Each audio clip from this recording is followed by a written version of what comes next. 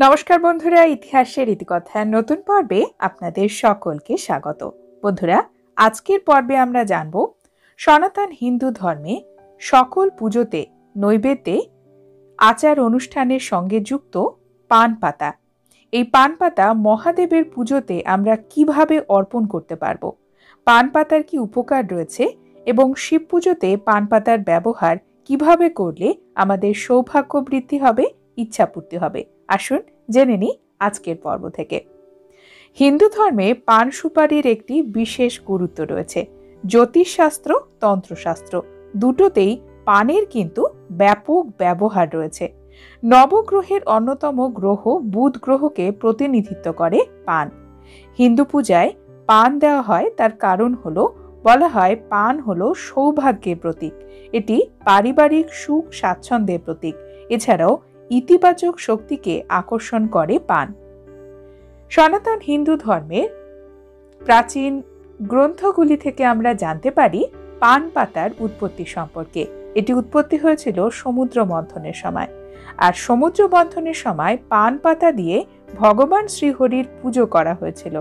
অর্থাৎ বোঝাই যাচ্ছে আমাদের হিন্দু ধর্মে পান পাতার ব্যবহার কতটা প্রাচীন। দেবাদিদেব মহাদেবের পুজোতে আমরা বহু ধরনের পাতা মহাদেবকে অর্পণ করি। যেমন বেল পাতা, এছাড়াও সমী পাতা, তাছাড়া আকন্দ ফুলের পাতা, আম পাতা, আরও অনেক ধরনের পাতা মহাদেবকে অর্পণ করা হয়। পান পাতা হলো তাদের মধ্যে একটি। পান পাতা ছাড়া আমাদের বাঙালি কেন? আমাদের সকল হিন্দু ধর্মাবলম্বীদের পুজোই সম্পন্ন হয় না। আমরা পুজোতে যে ঘট প্রতিষ্ঠা করি তার জন্য পানের প্রয়োজন হয়। এছাড়াও, শিশু বা বড় কোনো ব্যক্তিকে যদি কেউ নজর দেয়, সেই নজর কীভাবে ছাড়ানো যাবে, তার জন্য কিন্তু পান পাতার ব্যবহার করা হয়। অর্থাৎ সকল ক্ষেত্রেই পানের বিশেষ ব্যবহার রয়েছে। আপনারা শ্রাবণ মাসের যে কোনো সোমবারে অথবা মহাশিবরাত্রির সময় বা যে কোনো শিবরাত্রি তিথিতে বছরে মহাশিবরাত্রি হয় ফাল্গুন মাসে এবং প্রত্যেক মাসে একটি করে শিবরাত্রি পরে এই দিনেও পান পাতার এই উপায়গুলি করতে পারেন। দু টাকার পান আপনার জীবনে কোটি টাকার সৌভাগ্য নিয়ে আসবে। ছোট ছোট কয়েকটি উপায়ের মাধ্যমে। সনাতন হিন্দু ধর্মে পান পাতা হলো এতটাই পবিত্র বলা হয় পান পাতাতে সকল দেবী এবং দেবতা বাস করেন। মা লক্ষ্মী, মা দুর্গা, মা সরস্বতী, শুক্রদেব। এছাড়াও মহাদেব, বিষ্ণুদেব, ব্রহ্মা সকলেই পান পাতাতেই অবস্থান করেন। পান পাতা মহাদেবকে সোমবারে যখন অর্পণ করবেন, তখন মহাদেবের যে কোনো মন্ত্র জপ করতে পারেন। আপনারা যেভাবে বেলপাতা অর্পণ করেন, ঠিক সেই রকমভাবেই পান পাতা অর্পণ করতে হয়।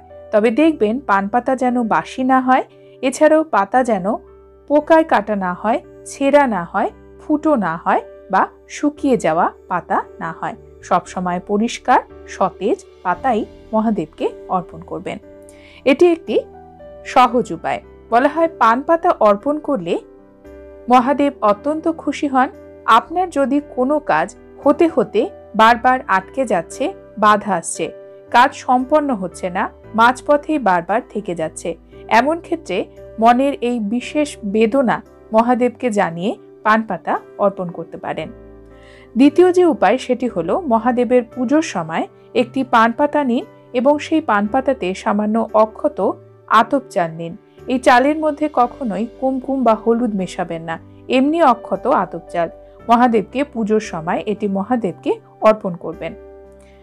বলা হয়, চাল আমাদের জীবনে সৌভাগ্য নিয়ে আসে। এছাড়াও ধন, সম্পত্তি এবং সমৃদ্ধির একটি ইঙ্গিত নিয়ে আসে চাল।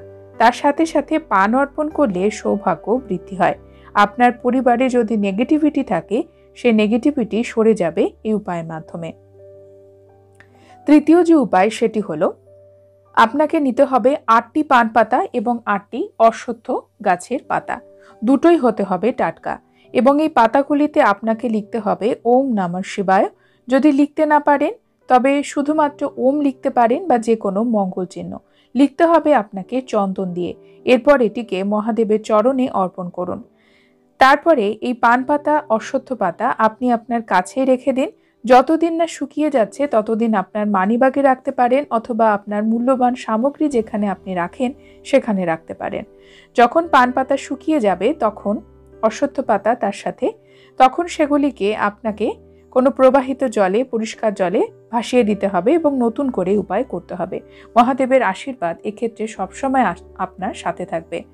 পরবর্তী উপায় আপনাদের জন্য। একটি পান পাতা নিন, সেই পান পাতার ওপরে আপনি সামান্য মৌরি, একটি লবঙ্গ, একটি এলাচ এবং গুলকান্ত মহাদেবকে অর্পণ করুন।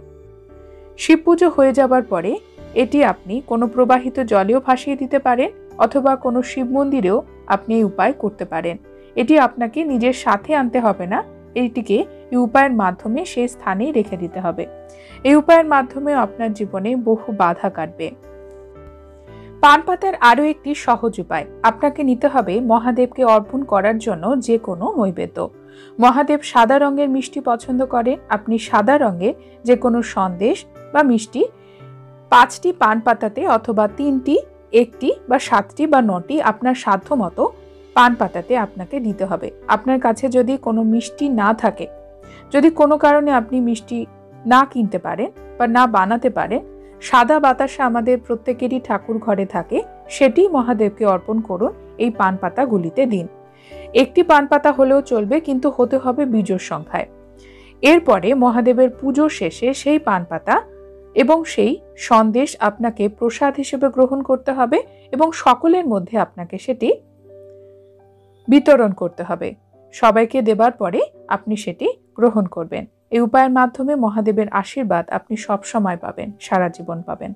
বন্ধুরা, আজকের পর্ব এখানে শেষ করছি। পরবর্তী পর্বে নতুন একটি বিষয় নিয়ে আপনাদের সঙ্গে কথা হবে।